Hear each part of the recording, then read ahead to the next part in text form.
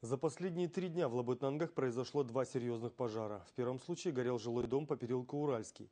В результате сразу несколько семей остались без крыши над головой. Во втором случае горело офисное здание предприятия «Мостострой-13». К счастью, обошлось без человеческих жертв, но огнем уничтожено практически 80% строения. Подробнее о происшествиях в репортаже Ксении Богдановой.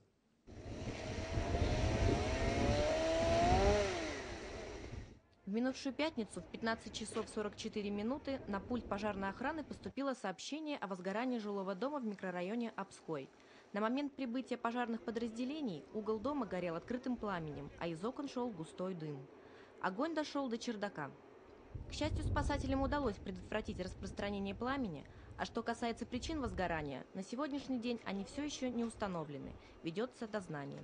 У нас все выходные ведется расследование, то есть э, Дознаватель вообще не останавливаясь, он, находясь в круглосуточном режиме работы, это все делает, берет объяснения, спрашивает, э, сверяет с первичной информацией, там, на момент прибытия, как, что, в каком состоянии пожар, какую получил степень развития и так далее. То есть работа ведется, но пока рано говорить. Было, были сотрудники Федеральной испытательной лаборатории нашей, они взяли все пробы, все какие-то материалы вот именно для проведения расследования по причине пожара.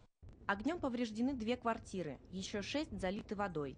По оперативной сводке эвакуировано 11 человек и спасен один ребенок. В момент возгорания большая часть людей находилась вне дома.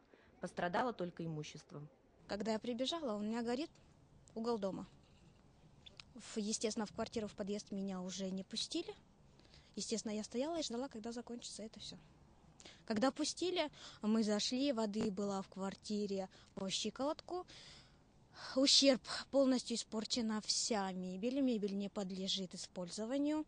Полы, стены, потолок, все, зал, кухня, коридор. Не пострадала только маленькая комната, так как там она над балконом, подъезд. То есть вот это. Все остальное пострадало, жить невозможно, полы проваливаются. Квартира не используется для жилья. По словам Натальи, ее квартира была застрахована, но пока никакой реакции от страховщиков они с супругом так и не добились. Страхуем, такие деньги отдаем. Он должен быть такой момент, что выходные должна выезжать все равно страховая, Конечно. мне кажется.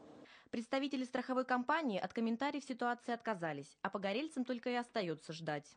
А зачем я ее туда страховал, если вы сейчас даже не можете элементарно поехать и посмотреть квартиру, чтобы я на основании этого двигался дальше?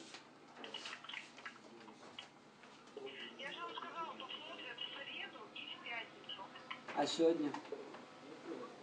А сегодня? Сегодня никак не получается. По словам Александра, восстановлению не подлежит практически все имущество. Ущерб семье нанесен весомый.